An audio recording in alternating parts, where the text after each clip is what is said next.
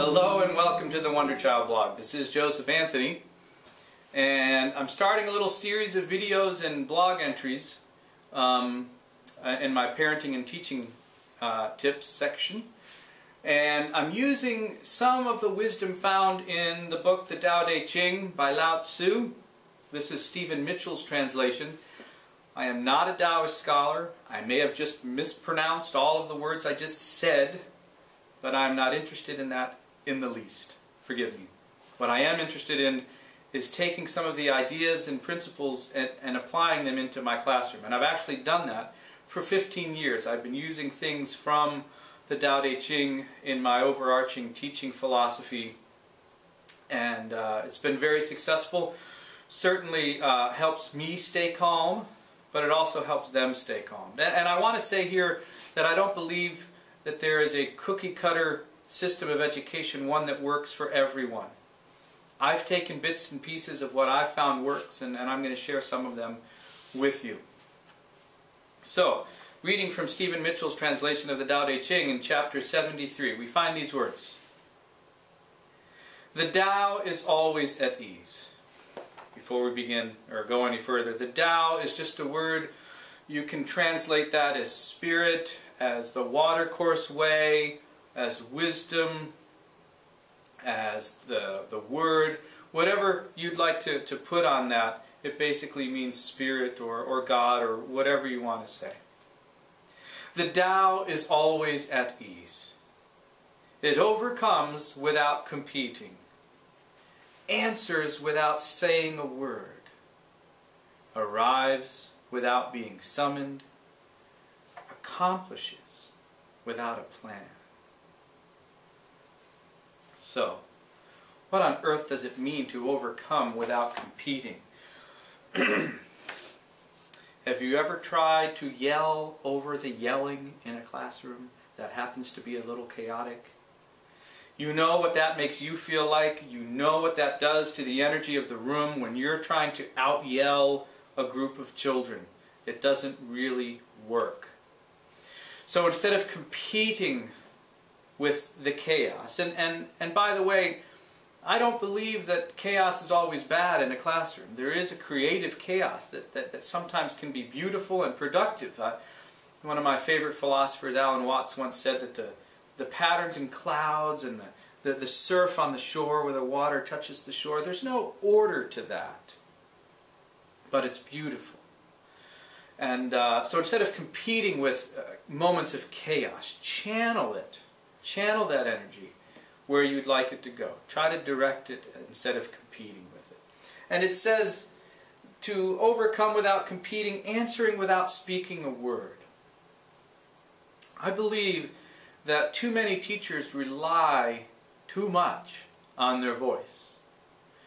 I believe it's overused. It's a good tool, obviously. You need it. But if you're if you're doing everything with your voice, giving directions, making transitions, praising, giving assignments, and you're only using your voice all the time, they're going to start tuning you out. It's just natural. So, without speaking a word, if there's chaos going on in a room, use your body. The body is a tool a lot of teachers don't use. But if you can learn to become at ease with your own body, and in the center of the mayhem, Breathe deeply through your belly. Have positive visualizations and affirmations going through your head or out loud. One of the visualizations that I've used many times is to stand and breathe deeply and visualize the mercury in a, in a thermometer and a temperature gauge dropping steadily and gradually. And you might be looking at me now, how on earth can that do anything? Contempt prior to investigation, try it. I've used it many times and it works. So you become at ease with yourself and your own body in the center of the chaos. Breathe deeply. You can use EFT tapping techniques. Found those helpful too over the last couple of years. You can also use proximity. Instead of moving away from the chaos, get in closer to the chaos, as close as you can. Get right in there. You can also, without competing for their attention, you can start staring out the window very intensely. Or at something on the ceiling. Oh.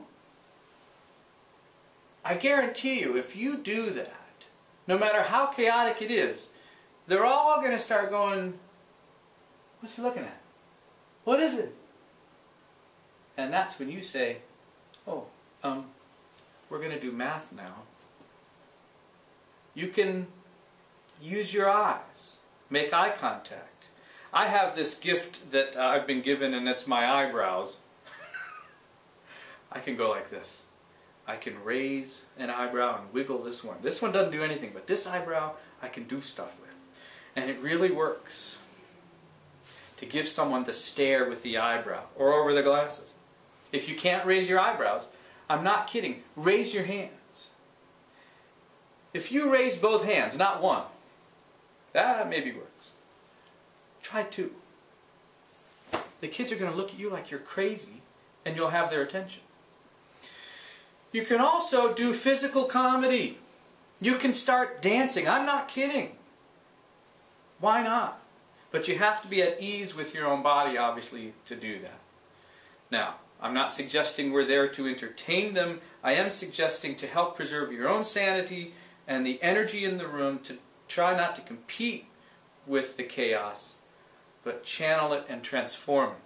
You can start singing especially for younger children, kindergarten on up to fourth, fifth grade. And, and, and I've used it actually for older kids too. If you just start keeping a beat, they're going to start clapping. They're just going to start clapping. and if you start singing, I promise you, they will echo back if you start like this. Hey all good people, hey all good people, listen everybody.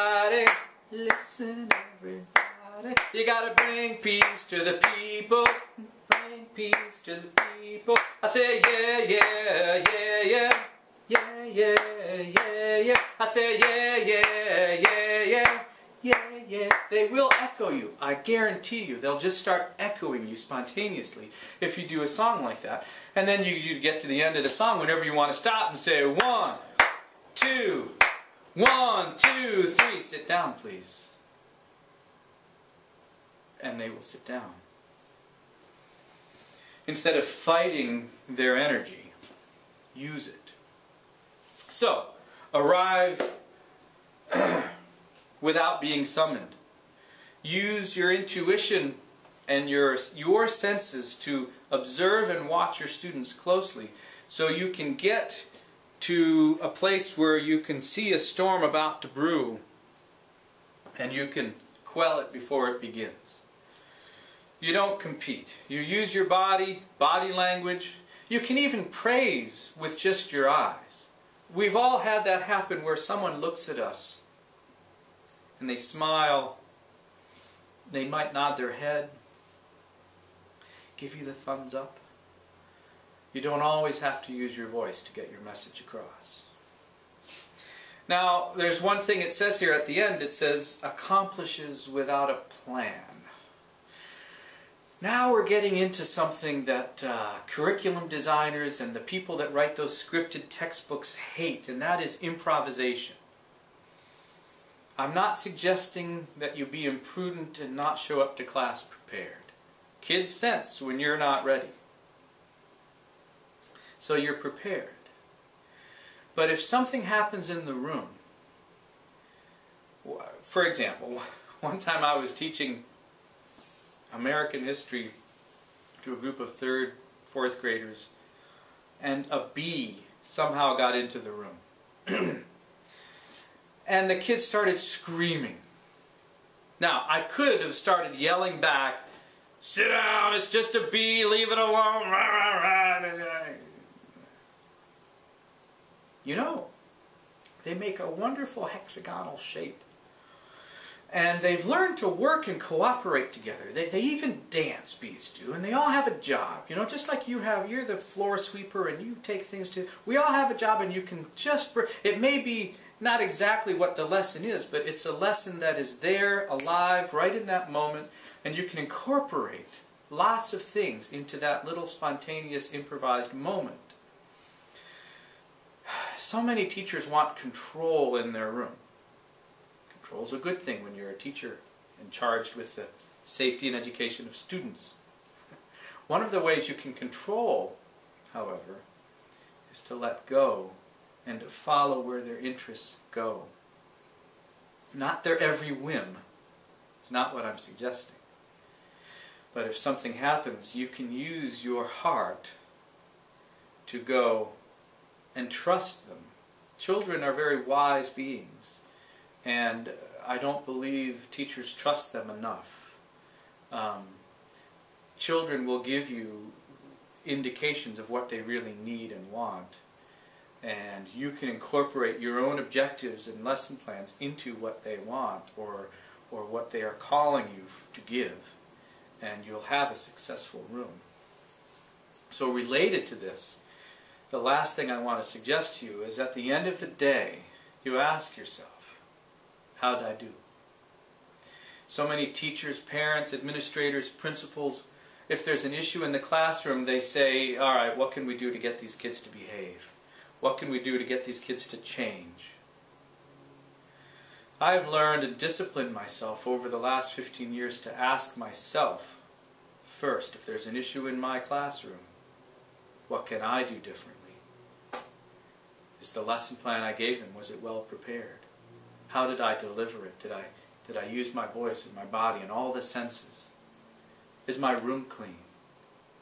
Is what I'm teaching meaningful? Just as they know, students, if you're unprepared, they know if what you're teaching is meaningless to them.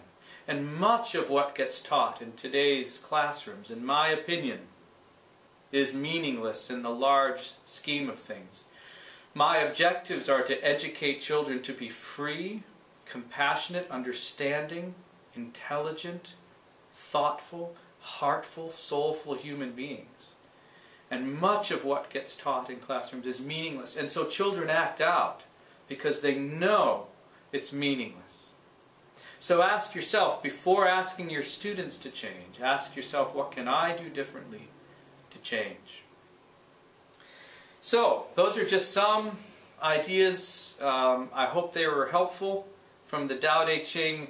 And um, the Tao is always at ease, just to summarize.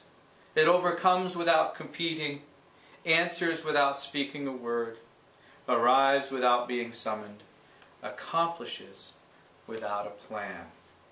Use your body, body language, be at ease, improvise, and take your own inventory about what's going on in your room. And I guarantee you, you will have a much more peaceful, successful, productive learning environment.